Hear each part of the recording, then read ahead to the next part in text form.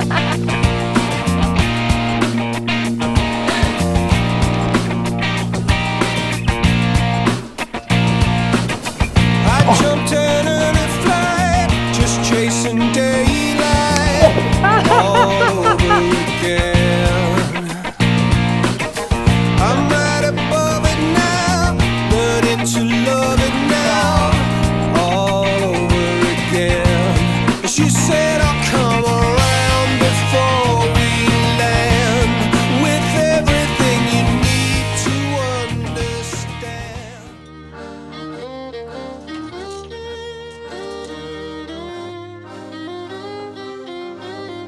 You know, it's interesting you say that because when we were filming, they, Shell, the director, asked me to be myself.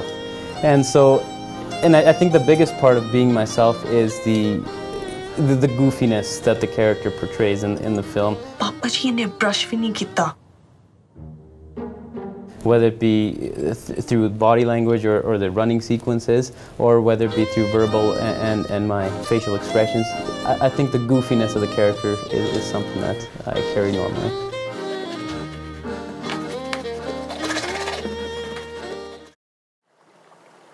I need to make money, man. So get a job, you lazy ass. No, man. Not just like any job. I need to make a lot of money. And fast.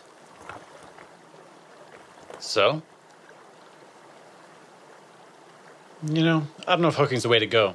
Being a hoe is pretty hard these days. Uh, I would say Herc is Hercules for me. And um, Hercules is a doer. I find, uh, especially with acting, that we get caught up in, in thinking too much. And that's definitely the detri- detriment to the art form a lot of the time, at least for me, and where I struggle as an actor, kind of getting my footing. So Herc is great because he's just a doer. Just don't think, just, just go. Just do it. And, and I loved that. I enjoyed that with his character. I mean, what were you doing running away like that? I mean, what if I didn't see him? What if that guy caught me? What were you thinking? She's fun. I was really excited to play the fun party girl. I thought you saw him. You thought? Really? Well, don't. Don't you dare think again. Yeah, she's she's bossy. So it's always fun to play. Um, yeah, yeah, she's she's just really fun. She she lived in a very like light place for being such a a dark at her core. So I, I have an idea. Wh- Why don't we ask Winder? That's a good idea. Yeah. No, that is not a good idea. Why not? I don't feel good about this, Cassie. He's our friend. He'll help us. Cassie, let's not ask him for money. Don't be stupid. whenever you whenever I take on a character, I think it's it, it is me, and it's just parts of me perhaps that I don't like to show the world, perhaps. Um, so Cassidy, she she's really just wants love, you know. She's just a lost girl, and she's going different places. So for me, it was just sort of finding people to love her, and yeah, I guess we all want that, right? We're all lonely, so. Where are you going?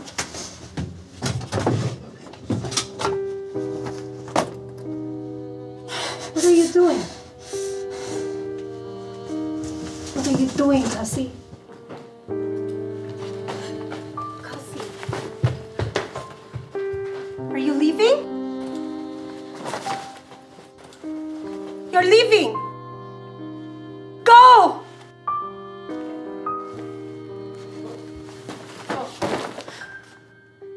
I'm gone.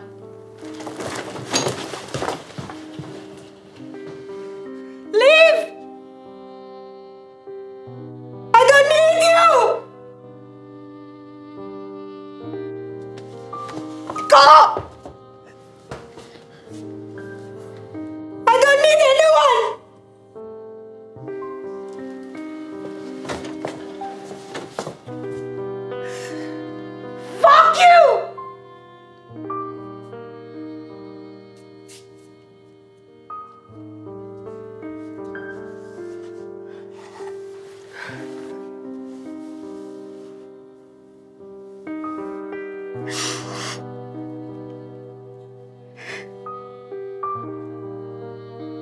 First of all, Ana Rosa was not conceptualized by me. When Shell wrote the script for me and when he had me in mind when he was writing this, he believed that I could do this character way more than I did.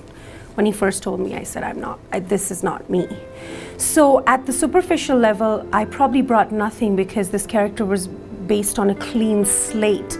But at a more uh, deeper level, I might not choose the things that Ana Rosa did in her life, but her values, her morals, and her conscience, which shows through in some portions of the film, I think is very similar to who I am in reality. Two more, three more, yeah, one more. dun, dun. Villages,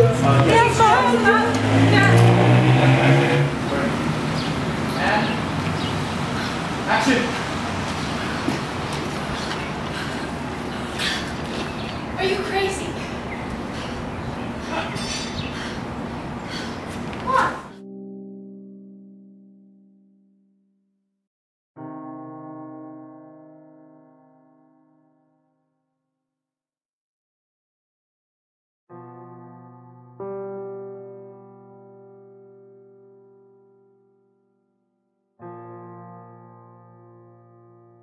She's very innocent. She's taking the world in, again, coming back to that clean slate. She's she's clean and she's taking the world in in front of her, uh, and that's what's kind of evolving her into who she becomes and then chooses to unbecome, if that makes sense.